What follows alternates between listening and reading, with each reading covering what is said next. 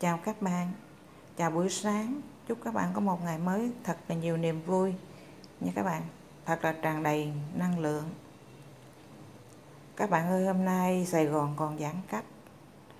Mình à, ở nhà còn cái gì ăn cái nấy nha các bạn. Còn một ít thịt xay nè, khổ qua. Mình ngâm mấy cái nấm à, nấm hương. Đây là gia vị. Tỏi nè, hành tây nè, à, hành lá đầu hành nè các bạn. Thêm trái ớt ớt là không cay nha các bạn. Nhưng mà mình à, mách các bạn là bỏ ớt không cay vô thì khổ qua nó không có um, đắng ở đây là mấy trái khổ qua. Thì hôm nay mình cho gia đình nhỏ của mình ăn khổ qua hầm. Nha các bạn. Thì làm theo cách này của bà già mình dạy bà cố bà à, bà bà cố hồi xưa dạy là ăn không đắng. Bây giờ những cái trái ổ qua mà mình thích Ờ, ăn là nhỏ nhỏ như vậy mà nó nở gai hết rồi nè các bạn. Khổ qua này ăn ít có bị đắng mà mình biết cách làm thì ít có bị đắng nha các bạn. Bây giờ nếu mà mình để sống như vậy mình rạch ra mình lấy hạt á, thì nó sẽ banh ra hết nó không ngon. Bây giờ trước tiên là mình đem đi luộc nó trong nước muối nha các bạn. Đây đi luộc trong nước muối. Luộc khổ qua trong nước muối. À nhưng mà các bạn luộc như thế nào mà để cho trái, luộc trần thôi. Các bạn luộc như thế nào mà khổ qua mình nó không đắng. Đó, mới là cái hay.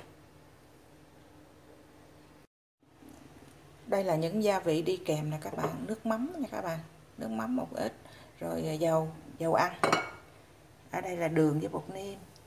Nhà mình thì ăn đơn giản lắm các bạn. Sợ có mấy đứa bé đó, sợ nó ăn không được có bỏ cây, nhiều ớt đó là ớt không cay. Nhưng mà mình à, cũng có cái bí quyết nếu mà mình bỏ ớt đó vô thì khổ qua nó cũng tránh đắng đó nha các bạn. Khổ qua nó ít có đắng. Tại vì trong quá trình mình hầm, mình dìm tới dìm lui đó. Nhưng mà một lát mình sẽ nói thêm về cách hầm ổ qua sao không đắng. Các bạn ơi, bây giờ chúng ta bắt nước lên. Chúng ta bỏ vô một miếng muối nha các bạn. Chúng ta bỏ nó vô nồi một miếng muối cho nó kìm độ đắng đó các bạn cho nó kiềm độ đắng của khổ qua. Mà các bạn muốn không đắng á, thì các bạn phải làm cho lửa nó to lên. Không được lửa nhỏ rồi dìm tới dìm lui là nó sẽ bị đắng nha các bạn. À, các bạn làm lửa to nhưng mà các bạn làm nhanh thì khổ qua nó không đắng. Rồi còn những cái những điều mà không đắng nữa thì một lát mình nói tiếp nha các bạn. Bây giờ mình bắt lửa to nè lửa số 9 luôn cho nó mau sôi thì nó đang sôi. Mình bỏ vô chứ mình không được bỏ vô trước. Nếu mình bỏ vô trước thì nó dìm tới dìm lui, dường như là nó chết vitamin, nó bị đắng đó các bạn. Bà già mình đã dạy kỹ lắm, bà dạy con gái bà dạy kỹ lắm luôn. Đó là cách làm ổ qua không đắng nha các bạn. Sau khi mà các bạn à, vớt ra thì các bạn chịu khó dìm trong nước nước lạnh, nước đá đó. Thì khổ qua không có đắng bây giờ mình chờ nước nó nó sôi đó mình bỏ khổ qua vô mình luộc qua luộc lại mình trần luộc trần thôi nha các bạn. Luộc trần chừng 3 phút mình lấy ra. Bây giờ cái này nồi, nồi nước này nó đang sôi dữ dội nè các bạn các bạn thọc nó vô. Tại vì trong đó mình có bỏ muối rồi. Đó. Mình không thể nào mình à, để à, trước để trước dìm tới dìm lui lỗ qua nó sẽ đắng nha tại vì cái trái khổ qua này nó nhỏ quá nếu mà mình tách nó ra thì nó nó nó, nó mình để thịt vô thì nó bị à, nó không có ôm trái qua. Đó. Mình cho nó dìm vô đây là 3 phút mình lấy ra nha các bạn. 3 phút thôi lấy ra bỏ qua nước lạnh. Nếu có nước đá thì càng tốt còn không có thì mình bỏ qua nước lạnh. Chúng ta vớt chúng ta bỏ qua đây đi các bạn. Đó. 3 phút thôi nó không có chín là các bạn nhưng mà nó xanh làm như vậy nó xanh lắm. Chúng ta bỏ qua cái nồi nước lạnh nha. Bữa nay ăn ổ qua hầm ăn cái này nhớ tết. Tết nhà nào cũng có nồi khổ qua với nồi thịt kho hết á. Ăn đi ăn lại. Thời gian thì để đi chơi. Bây giờ hai năm nay là không có cái tết thôi con ha? Hai năm nay là bị covid covid có cái tết nhưng mà tết không có vui ăn tết phải cẩn trọng bảo trọng đủ thứ. Bạn ơi đây là những cái trái khổ qua mà mình đã luộc trần trong 3 phút rồi nè các bạn. Các bạn thấy mình luộc lửa lớn cái trái khổ qua nó xanh lét luôn á các bạn. Mà mình dìm qua dìm lại khổ qua nó không xanh mà nó lại bị đắng nha. Này mình luộc thành công rồi nè. Nhưng mà bà già mình hồi xưa á à, dạy mình đó là con muốn khổ qua không đắng. Đó cũng là một cách không đắng nha các bạn. Đây là nước mắm với đường nè mình cho nó vô. Mình trần nó trước các bạn. Mình trần nó trước trong trái khổ qua như thế này nè. Đó, mình lắc qua lắc lại. Chút xíu nước mắm với đường nha các bạn. Rồi mình bỏ để lên đây. Mình xong khổ qua rồi mình đi chuẩn bị nhân. Đó, nước mắm đường. Hồi xưa hả, ai mà làm khéo rồi á là mình ta không có buộc ngang đâu các bạn. Không buộc ngang đâu. Bây giờ mình lấy hành mình buộc chỉ để cho đẹp thôi chứ à, lấy nước mắm đường. Mình tưới lên cái mặt vậy trước khi bỏ ổ qua vô nồi nước. Đó các bạn. Là nó săn miếng thịt lại. Nó không có um, nó không có rớt miếng thịt ra ngoài cái nước nha các bạn. Không, không rớt miếng thịt ra ngoài cái nước. Đó. Mình cho khổ qua nó qua nước mắm đường. Bây giờ mình làm tới phần nhân đi các bạn. Mình làm tới phần nhân nha mình bỏ thịt vô nè. Bỏ thịt vô nha các bạn. Bây giờ mình bỏ nấm vô luôn. Cho nó ngọt thịt. Mà nó không có dai miếng thịt đó các bạn. Miếng thịt nó mềm. Đây là củ hành trắng nè. Củ hành trắng mình à, băm nhỏ rồi đó. Đây là một ít tỏi. Nha, ít tỏi. Ăn cho nó giảm cholesterol đây là cái phần ớt nè các bạn. Ớt là ớt không cay nha các bạn để cho bé có thể ăn được. Và một phần ít đầu hành. Đó, tất cả mình trộn lại. Ở đây là đường với bột ngọt nè.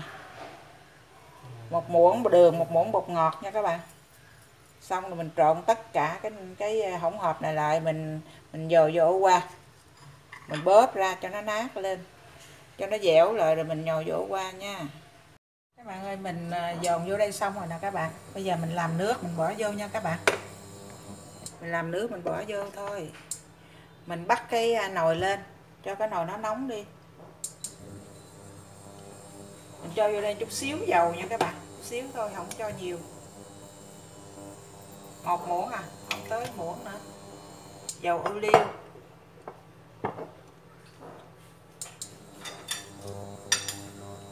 Rồi mình bỏ cái đầu hành này vô, mình cháy cho thơm cái nước nha các bạn. Đầu hành hồi nãy nè. Bỏ vô mình cháy cho nó thơm cái nước.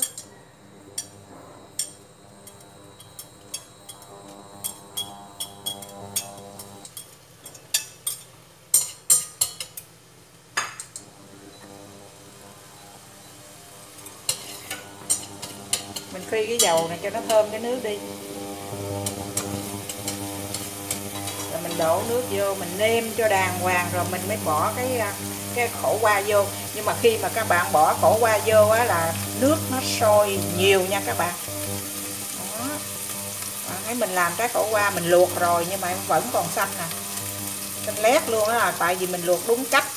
Còn nếu mà mình dìm tới dìm lui trong nước nó không có sôi á, nó nguội thì khổ qua nó sẽ đắng và cái cái cái trái khổ qua nó sẽ bị tái màu này mình không có để vàng lắm nha các bạn. Nó vừa thơm thôi, không có để vàng lắm. Chuẩn bị nước để đổ vô nè.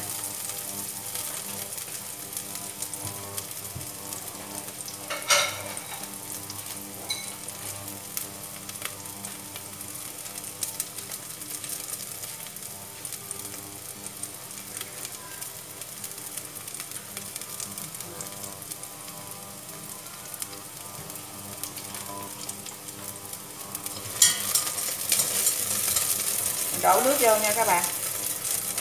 Đầu hành nó vừa thơm thôi chứ đừng để vàng quá không ngon. Lửa cho thật là to. Lửa cho thật là to, lửa số 9 luôn nè các bạn. Lửa cho thật là to. Rồi mình nêm đường, nêm bột, nêm xong rồi đó. Mình mới bỏ hoa qua vô màu, bỏ bỏ hoa qua vô nồi trong khi nước sôi dữ lên.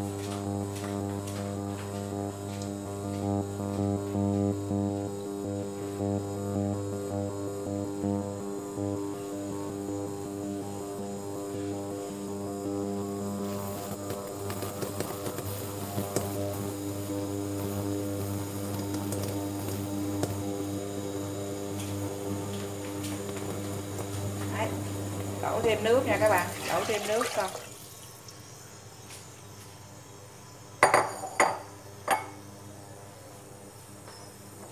đổ nước trong ngập chứ không có à, nước ít quá nó cũng đắng nha các bạn. Nó đắng mà nó lại là không có, cái màu nó không có đẹp.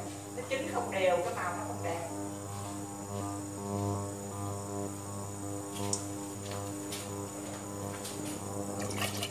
Đó, chúng ta đổ nhiều nước có được rồi đó rồi bắt đầu chúng ta bỏ chút xíu đường nè. Khổ qua thì nó đi đâu với đường? Tại vì nó hạ đường dữ lắm nha các bạn. Ăn khổ qua nó hạ đường quyết dữ lắm đó. Bỏ nửa muỗng đường.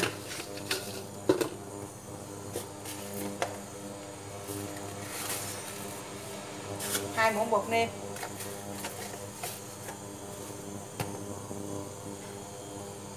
Một muỗng nước mắm nha các bạn, cho nó thơm cái nước một muỗng nước mắm. Một muỗng chứ không phải một môi đâu nha. Mình nêm như vậy rồi mình nêm cái nước này đi. Rồi cái nước này hả, nó sôi thật là sôi. Coi như mình làm lửa lớn, chứ mình không làm lửa nhỏ. Nước này nó ngọt vừa vặn rồi đó các bạn. Đó, cái nồi nước như thế đó đó. Hành phi nổi lên đó. Rồi vào đợi sôi, lửa mình đi, lửa số 9 nè mình để cho thật sôi mình mới mới dìm vô. Mình nấu mà có kỹ thuật một chút thì ăn ngon, gia đình mình ăn ngon mà người già, người nhỏ gì cũng biết ăn hết nha các bạn. Riêng mình thì mình thích ăn ổ qua thì càng đắng càng ngon, nhưng mà ba với bé là ít ăn ổ qua. Cái này nó mát gan lắm đó các bạn, mát gan, giải độc. Hạ cholesterol làm à, tránh mỡ máu là tránh huyết áp. Ổ qua nó là một, cũng là một vị thuốc đó. Cái nồi này, cái lò này nó nó dặn số lớn nó kêu ù ù đó các bạn. Đó, nồi nước sắp sôi rồi đó nha các bạn. Mình dặn số 9 thì cái nó hơi ù ù ù ù như vậy đó. Các bạn thấy khổ qua mình luộc trần rồi nhưng mà nó không có bị tái màu nè. Nó rất là xanh. Ở chỗ là mình luộc ờ, nước sôi nhiều. Rồi mình bỏ muối vô. Đây nồi nước nó đang nó đang sôi đó, mình thả khổ qua vô, sôi với độ lớn nha các bạn. Mà nước đó là đã nêm rồi mới bỏ khổ qua vô. Mình à, làm với cái lửa lớn, thứ nhất là nó mau à, mềm, thứ hai là nó xanh khổ qua. Rồi, mình đợi à, cho nó chín nha các bạn. Cái này là nước mắm hồi nãy là mình đổ vô đây luôn.